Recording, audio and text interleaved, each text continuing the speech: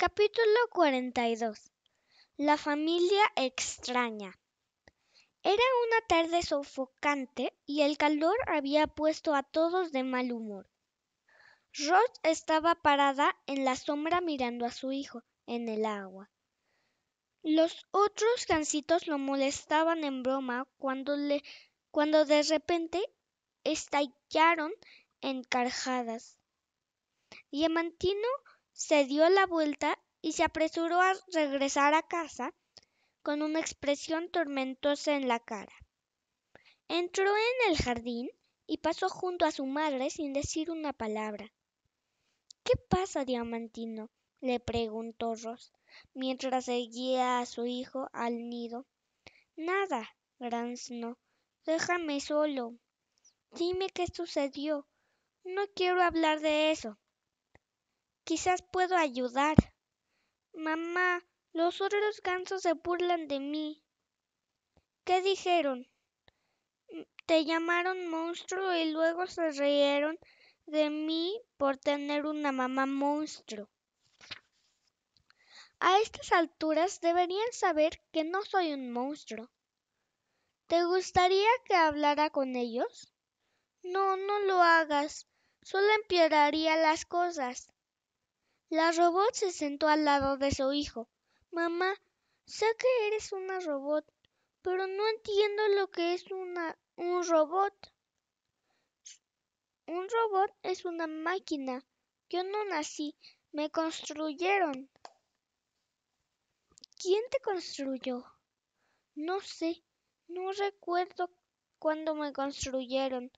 Mi primer recuerdo es cuando desperté en la costa norte de la isla. ¿Eras más pequeña entonces? preguntó el gansito. No, siempre he sido de este tamaño. Ross bajó la mirada hacia su cuerpo desgastado. Sin embargo, solía brillar como, una, como la superficie del estanque. Solía estar más recta que el tronco de un árbol.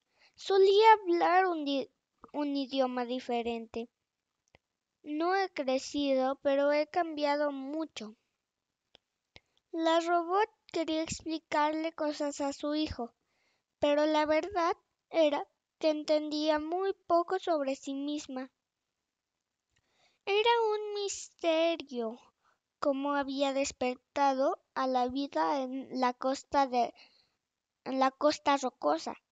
Era un misterio porque el cerebro de su computadora sabía ciertas cosas, pero otras no.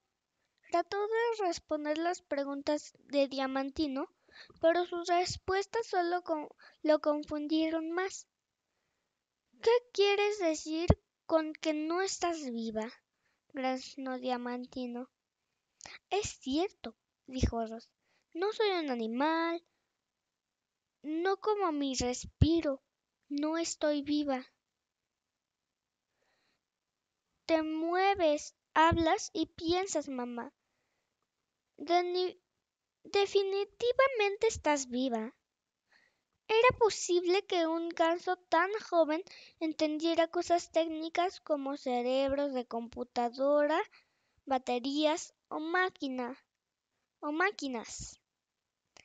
El gansito era mucho mejor para entender cosas naturales como islas, bosques o padres. Padres. La palabra de repente hizo sentir incómodo a Diamantino. No eres mi verdadera mamá, ¿verdad? Hay muchos tipos de madres, contestó la robot. Algunas madres pasan toda su vida cuidando a sus crías algunas ponen huevos y los abandonan inmediatamente. Otras cuidan de los hijos de otras madres. He intentado actuar como tu madre, pero no, no soy tu madre biológica. ¿Sabes dónde está mi mamá biológica? Ross le contó sobre ese fatídico día de primavera, sobre cómo sobre cómo habían caído las rocas y solo había sobrevivido un huevo, sobre cómo ella había puesto el huevo en un nido y se lo había llevado, sobre cómo había vigilado el huevo hasta que un pequeño ganso salió del cascarón. Diamantino escuchó atentamente hasta que terminó. ¿Debo dejar de llamarte mamá? preguntó el gansito. Seguiré actuando como tu madre, sin importar cómo me llames, contestó la robot. Creo que seguiré llamándote mamá. Creo que seguiré llamándote hijo. Somos una familia extraña, dijo Diamantino con una pequeña sonrisa. Pero me gusta a mí. Pero me gusta. A mí también, dijo Ross.